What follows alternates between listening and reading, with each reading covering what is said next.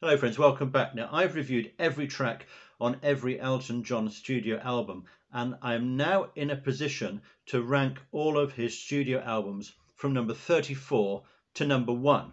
I'm including a couple of um, collaboration albums in there and a film soundtrack as well. So let's get straight into it. Now remember I rank each track out of 10. I then work out an average mark per track for that album. That's how I rank them. As I mention each album, I'm going to mention a couple of my favourite tracks from each one. Now, I should say, I like all of these albums. Um, I don't dislike any of them. I would listen to any of them as well. It's just that I'd rank some higher than others. At number 34, we go back to 1979 and Elton John's disco outing, Victim of Love. Much maligned album, and it sometimes ranks on those videos of worst albums of all time. It's not great, but it's not that bad either. And there's a couple of decent tracks on here. The title track, Victim of Love itself, is actually pretty good. And there's a couple of others like Thunder in the in the Night, uh, Warm Love in a Cold World. They're not that bad. Uh, it's just there's no original Elton John material on this one, and it was a little bit of a misfire. Number 33, we're going right back to the start, 1969, and Elton John's first solo album, Empty Sky. Now, the title track is very good indeed. It's also got the sublime Skyline Pigeon on there, but it's also got quite a lot of experimental, fairly psychedelic tracks as well, which are a little bit hard to get into.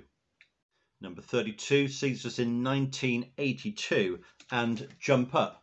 Now, again, this is one of the very early albums I bought of Elton John, and I love this album actually. It's just that the consistency of the tracks is not quite as high as some of the other albums. What do we like on here particularly? Um, now, uh, Where Have All the Good Times Gone is a great uh, rocking track. All Quiet on the Western Front. Uh, Blue Eyes, of course. Legal Boys is the standout track for me, uh, but a lot of people also love Empty Garden, uh, Elton John's tribute to John Lennon. Number 31, we're going back to 1993 for the Duets album.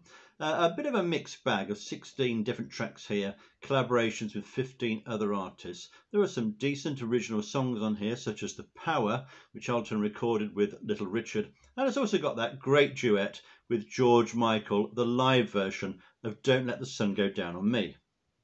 At number 30, we're going back to 1983 for Too Low for Zero, an album I like a great deal. It's got, of course, on it I'm Still Standing, and I guess that's why they call it the blues. Maybe some of the supporting tracks not quite so strong. At number 29, we're going right back to 1975, which was coming towards the end of Elton's sort of golden period of albums. Uh, and it's the album Rock of the Westies. Now, surrounded by some brilliant albums, this one was a little bit on the weaker side. It's still got some fine tracks on it, um, such as uh, I Feel Like a Bullet in the Gun of Robert Ford, one of Elton's finest deep cuts, actually. Um, but generally, uh, although it's quite a, a, a, noisy album, this one in a way, uh, it did sort of lack the quality of others in the 1970s. Now, number 28, we're going to 1974 for Caribou possibly Elton's worst album cover of all time there. It's got some great tracks on it, of course. Don't Let the Sun Go Down on Me being by far the best, and The Bitch Is Back, one of Elton's greatest uh, rockers. But again, a little bit inconsistent on this one, and it has the absolutely awful track Solar Prestige, if you've ever had the misfortune of listening to that one. At number 27, we're going back to 1986 for Leather Jackets. Um, maybe one of Elton's least popular uh, albums, certainly one he wasn't terribly happy with himself. Nevertheless, a few decent tracks on this. Go It Alone, particularly, uh, is a driving, exciting track. Uh, Paris is a pretty successful uh, one as well. At 26, we have Made in England, Elton's uh, recording from 1995. Lots of single word songs on this, and the highlights for me would probably be please, and the absolutely wonderful blessed. At number 25, we're going back to the lockdown for the lockdown sessions. Um, Elton's most recent offering to us um, and a series of collaborations he put together during the pandemic. Um, a bit of a mixed bag, but some good quality tracks on that. For instance, um, It's a Sin, which he did with Years and Years. There's the collaborations with Charlie Puth, and uh, Rina Sawayama, also very successful, along with the wonderful song Finish Line with Stevie Wonder. At 24, we go to 2004 and Peachtree Road. Um, I like a lot of these uh, later Elton albums, and this one is no exception. Uh, generally, a good quality of song on this. Um, All That I'm Allowed, I'm Thankful, is a very popular song uh, with many. Uh, there's some good um, upbeat ones like They Call Her the Cat, and Turn the Lights Out When You Leave is a good ballad from this one. 23, it's 1985 and it's Ice on Fire. Another album I really like. Um, some generally good tracks on this from the opener, This Town. It's got Nikita, of course, uh, and it's got Wrap Her Up, which was um, one he recorded along with uh, George Michael. And it's got Shoot Down the Moon, the song Elton was hoping would be used as a Bond track, and in fact would have made a very good one. At 22, a real rarity. It's 1971 and Elton's first film soundtrack, Friends. Uh, not a lot to get your teeth into on this one, but there are two beautiful ballads, the title track uh, and Michelle's song, which are both absolutely beautiful. Um, there's a couple of other things on there and a bit of sort of filler material, but still uh, a nice album to listen to. At 21, we're going to 1997, and this is a bit of an album that splits the Elton fans. Uh, it's the big picture. Now, uh, for me, there are some fantastic tracks on this, including one of my very favourite Elton songs ever, Live Like Horses. Um, there's also something about The Way You Look Tonight, which is a great ballad, and Recover Your Soul, very much like that. It's also got one of my least favourite Elton tracks on it, which is the title track, The Big Picture.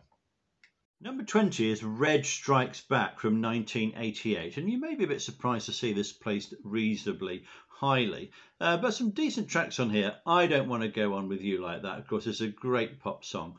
Um, I really like Heavy Traffic as well. The Camera Never Lies, you know, Poor Cow. There's some good stuff on that. And of course, the second part of Mona Lisa's and Mad Hatters, the follow up to his original song from Honky Chateau uh, about living in New York City.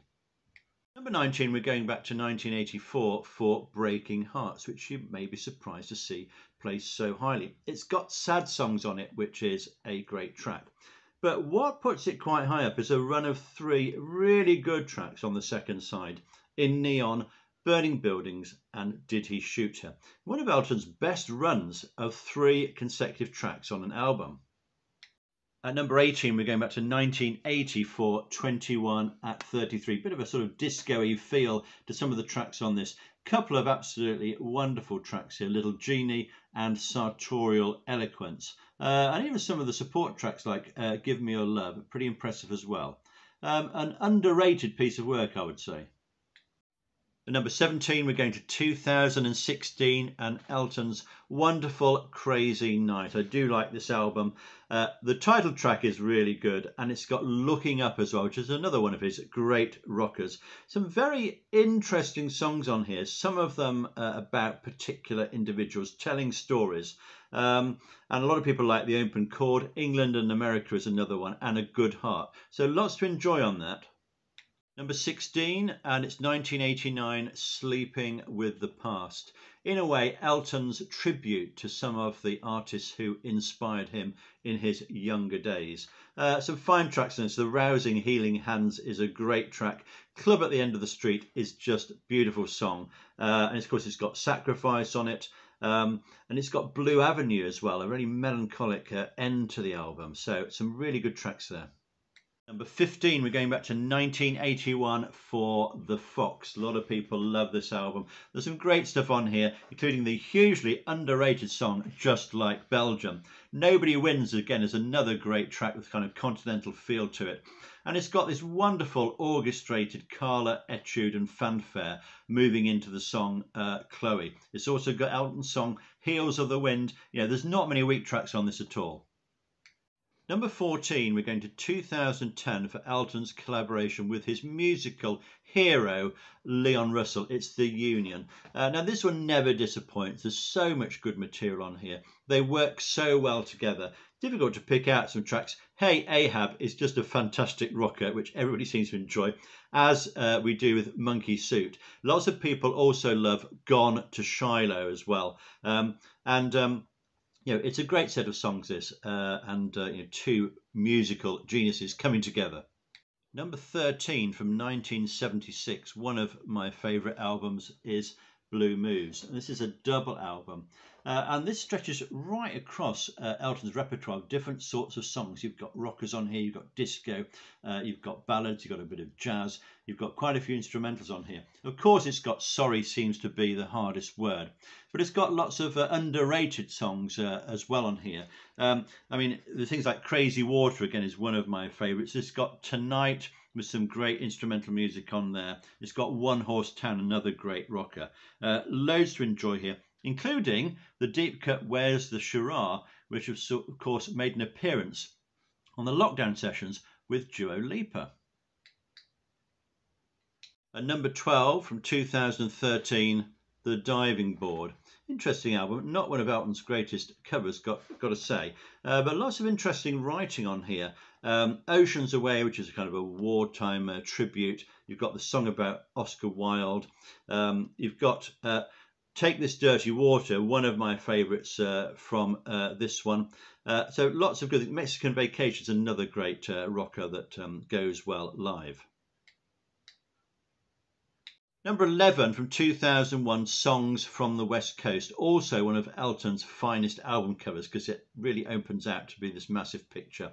Uh, now, some great tracks on here. Of course, uh, This Train Don't Stop There Anymore is the standout track uh, from this one. But there's lots of other good ones. Original Sin, Birds is kind of a cult classic among fans. American Triangle uh, as well. Lots to enjoy on there. So we're now getting into my top 10 Elton albums. At number 10, we're going to 1992 for the one. Now, not everybody enjoys the production on this, and I was a bit critical of the production, but the quality of the songs is very good indeed. From the start, we have Simple Life. Then we have uh, The One, um, which is a great track. Runaway Train, Eric Clapton appearing on there.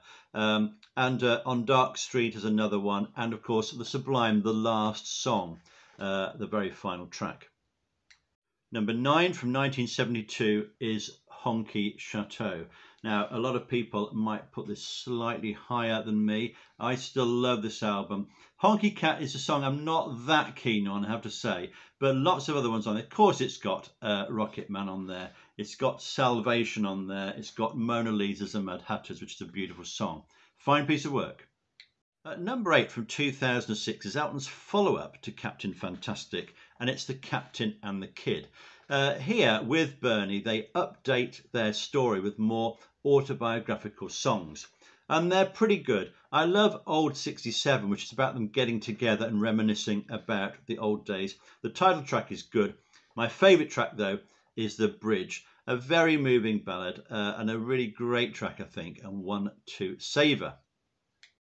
Number seven from 1978 is a single man. Now, some people say, why have you got this so high? It's because probably it was my first Elton John album and I still love listening to this. Of course, it's got Song for Guy on it, which everybody knows, but it's got some lovely other material. Shine On Through is a great ballad to start. You've got a rocker like I Don't Care, It Ain't Gonna Be Easy, and it's got Part Time Love, which is a great pop song. At number six from 1970 is the wonderful Elton John album. It's got your song on it. It's got Take Me to the Pilot, 60 Years On, Border Song, uh, The King Must Die. Uh, it's a beautiful uh, selection of, of uh, recordings. I Need You to Turn to is another lovely ballad. Uh, check this out if you haven't already. Number five from 1975, Captain Fantastic and the Brown Dirt Cowboy probably Elton's finest uh, album cover. It's his Sergeant Pepper moment. We've got Someone Saved My Life Tonight. We've got We All Fall in Love Sometimes. And the very underrated song, Writing for Me. Check this out if you don't know it. It's a lovely piece of cohesive songwriting, both in melody and lyric. It's quality all the way now. Number four, 1971, we're going to Madman Across the Water, which has recently celebrated its 50th anniversary. Of course, you'll know it from Tiny Dancer. You'll know it from Indian Sunset, uh, Levon. Uh, so much quality on here. The title track uh, is strange uh, but hypnotic uh, in its quality. and that uh, sort of melancholic moving goodbye at the end. It's just a wonderful piece of creative work. Number three, 1973, Don't Shoot Me, I'm Only the Piano Player. Uh, I love this album, so much good material on it. Daniel, of course, uh, the most famous track, I, I suppose, but so much quality on it. Teacher, I Need You, Blues for Baby and Me, the wonderful Have Mercy on the Criminal. Um, it's got Texan Love Song, Crocodile Rock, and High Flying Bird as well. You know, it's quality all the way.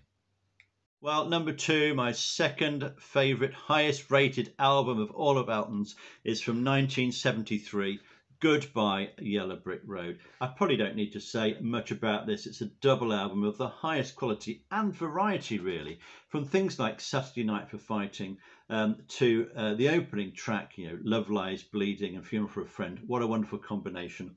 Uh, and we've also got Candle in the Wind on there. We've got great rockers uh, like All the Girls Love Alice and things like Roy Rogers, wonderful quirky ballad. Uh, it's just wonderful. It's iconic. And Elton now, of course, is saying goodbye to the Yellow Brick Road.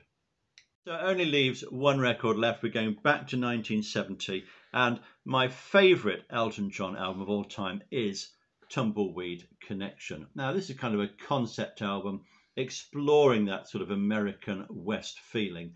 All the songs fit together um, in that sort of uh, genre, in that sort of mood. And what have we got on here? We've got Burn Down the Mission, of course.